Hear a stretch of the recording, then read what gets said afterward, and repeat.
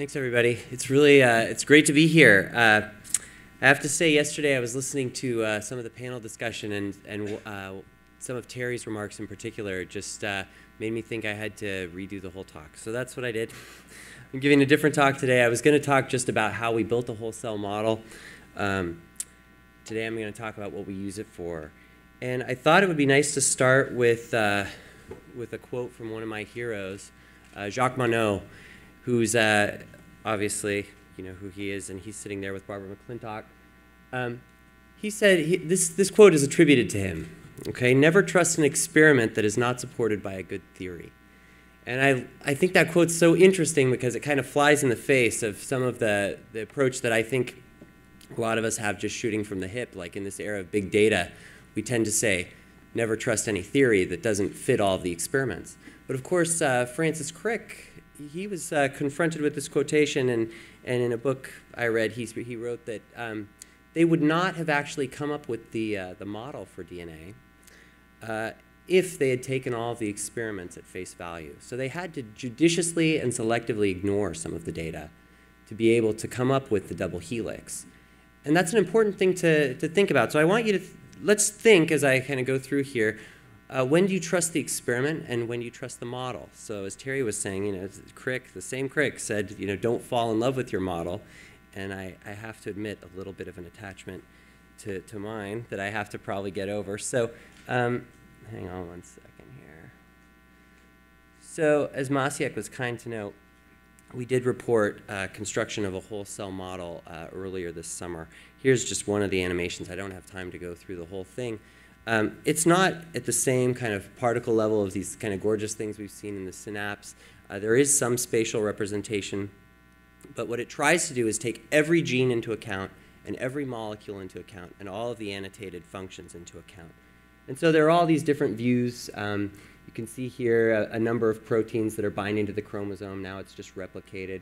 Replication initiation is done. You can see the production of monomers and complexes in the cell. You can see the energy usage of all of these different processes in the cell. And so taking all of that stuff together, like I said, it's been really fun for us to, to look at and kind of get an idea about. But what I really want to talk about today is now that we had this, we spent some time thinking, you know, what in the world are we going to do with this? Okay. Uh, what, what do we do with the whole cell model? How do we, again, going back to Terry's comments, get the biological insights out of a model like this? And so we've been trying to do some things. Uh, We've run many, many simulations now and trying to just compare them to all kinds of data. Normally I'd go into this slide in detail, but the general idea is that we're now able to compare our data. I mean, it's kind of nice to have a model of a, a cell because you can just compare it to any data set you see, really. And so uh, we've tried to, to just really span all of the different data that's been generated in this organism or in roughly related organisms. So we've looked at the metabolome, and we've made comparisons there, fluxome, this is supposed to be the transcriptome and proteome. I could show you many more graphs, but the, the overall idea is that we've compared this and kind of benchmarked it against all of the literature that we could find that we could test it to, and it, and it seemed to match up pretty well. Now, that was in the wild type. Uh, we've also been looking at a lot of knockouts.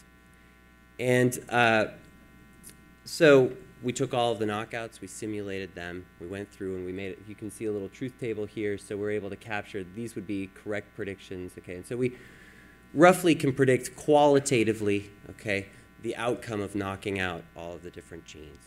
And I'll notice here just uh, the 71 here that are where the model is predicting that they're not essential and the experiment is shown to be essential, those are generally the genes, it's highly enriched for genes where we know a little bit about them, but not very much. So it's a very coarse-grained, kind of a, a worse description, uh, and, and so that's interesting in its own right. So many groups have done things like this, right? Qualitative prediction, so people who are kind of in the large-scale network modeling, they've done qualitative predictions of, of knockout phenotypes. But um, we wanted to take this ahead a step and do something that no one's done before, which was to look at all these phenotypes quantitatively to measure quantitative growth rates. And so we did that. Um, and so that's what you're going to see here.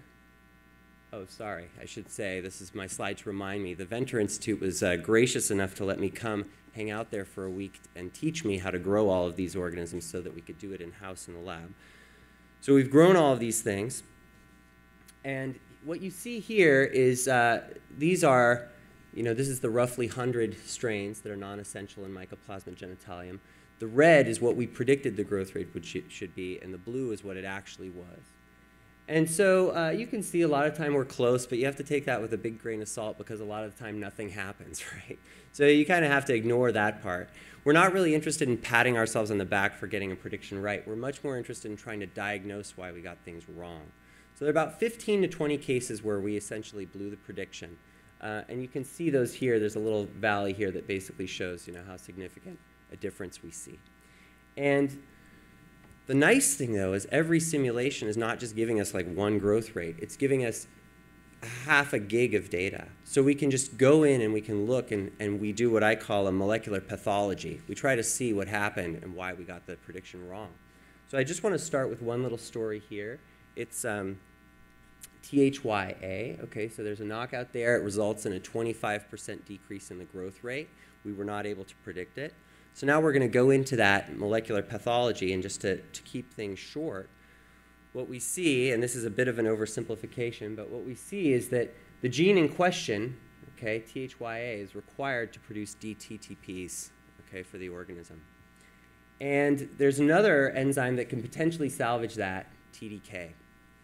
I don't have time to explain how we came up with it. But we found this enzyme TDK that really was the one that could potentially rescue that, uh, that phenotype. And in our model, we have a TDK, but one thing that's interesting about the TDK, and here's a complicated figure that I have to explain. Um, so what you see here on the left, these are all the possible growth rates of THYA, okay, in the model. So we modeled it at many different growth rates, and we did it by increasing the maximum throughput of that enzyme, TDK. Okay, and so what you can see here is that if you have a TDK value here, you get this different growth rate. Okay, so originally we pulled our TDK estimate from another organism because that was the best information we had. So we pulled it from that organism, and it gave us a growth rate that was wild type. Okay. However, now look at this green line. This is the distribution of the experimental data that we had of the measured growth rate. Okay. So based on that growth rate, we can go back and we can say, okay, we got this wrong. We think that the reason is that this enzyme KCAT is different than what we originally estimated. Okay? It's very interesting because we're taking a totally, like we're taking this growth, knockout growth phenotype, and we're using it to reach down into the protein level and say, what's the KCAT of that enzyme? So this is kind of, uh, it's really been the most exciting kind of month of the year. It's been very fun. Jayodita Sanghvi, one of my students, she went in, she cloned TDK into E. coli, okay, and she went through, thanks, this is a, a Hanes-Woolf plot where she's basically just measuring the KCAT of that enzyme that she's purified, expressed and purified in E. coli. And so she came up with the new experimental range. And I would never have, uh, have believed this if you just told me it was going to happen. But here's what we originally guessed with the model. Okay, or sorry, here was our original estimate that we pulled from another organism. Here's what we guessed with the model. And here's the range that we pulled out by experiment. And uh, so when I saw that from Jadita, first I told her to go repeat it a few times, of course, and then I um, and then I told her, well, this is like uh, this is your lucky month. You're not going to have anything like this for many years, probably. Uh, but then two weeks later, she showed up with this, which was another one of those genes where we were resolving the discrepancies. Okay, and again, in this case, we underpredicted. So here our original estimate was low. The model said, look, there's actually a pretty big range you could have here to make these things fit. And when we measured it, there it was right in the range. And then she did it again. So this is last week. Uh, we had a prediction up here, or our original estimate up here. The model predicted something a couple orders of magnitude less. And again, the, the range that we measured experimentally is right in the ballpark. So what does all that mean? Uh, I'm not quite sure yet. But what's really exciting about this is just going back to this comment by Monod, right? And these comments by Crick. What do you trust? Do you trust the experiment? Never trust an experiment that doesn't match a theory? Do you say never trust a theory that doesn't match an experiment? So what I'm hoping starts to happen, we're trying to figure out how to teach the two aspects to trust each other, right? To be able to go back and forth and say, okay, we're learning about each other, and hopefully we're going to converge to something that really gives us some new insights. So, uh, so there it is, my two cents. And uh, I just want to end by thanking the people who did the work. Jonathan and Jayodita, uh, really two amazing graduate students who did pretty much all the heavy lifting with the model. And of course, we had a lot of other, other help in the lab. And then finally, I just want to thank the, uh, the NIH, uh, particularly the Pioneer, Pioneer Award, for taking a chance on a long shot. So, thanks.